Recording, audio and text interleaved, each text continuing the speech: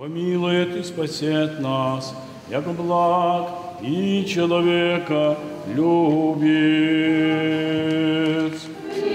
В этот день верующие стараются не пропускать торжественную службу. Они вспоминают, как Иисус Христос въехал в Иерусалим не на коне, а на ослике, не желая возвышаться над толпой. На его пути люди расстилали свою одежду и бросали пальмовые ветви, признавая Мессию. Прежде всего мы открываем двери нашего сердца, двери нашей души, куда бы вошел бы Господь, и истребил все ненужное, то, что у ней есть в нашей жизни, и подал самое нужное, чистое, доброе. На Руси пальмовую ветвь заменили вербой. Это растение одним из первых зацветает весной. Прихожане возносят молитвы, держа в руках символ чистоты и доброты. Кстати, после богослужения освященные веточки забирают домой. Их принято хранить целый год, украшая иконы.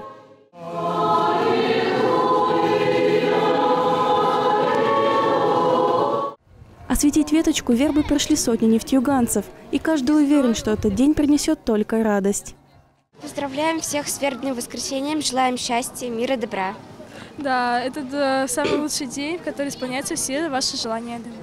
Желаю здоровья, э, счастья, хорошего дня. Наши предки обращали внимание на погоду в этот день и делали прогнозы на год. Так выпавшие осадки говорят о богатом урожае. Это у нас в Челябинской области уже снега нет.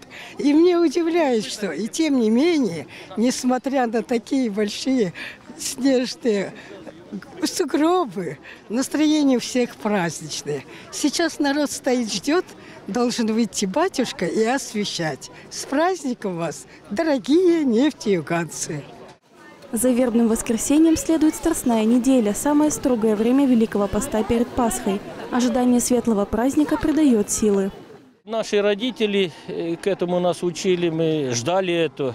Как говорят, у нас э, батька с Пасхою, так само мы э, ждали этот праздник, прекрасный праздник. Будем передавать нашим маленьким. Они пришли первый раз у нас захотели, мы, дедушка с бабушкой пообещал, так они пришли э, вербу светить, как мы называем. Вот. Ну, всех хочется поздравить с этим прекрасным праздничком. Вот, всем здоровьечка. Уже в это воскресенье, 16 числа, православные будут отмечать Пасху. Самый почитаемый праздник церковного календаря, символизирующий победу жизни над смертью.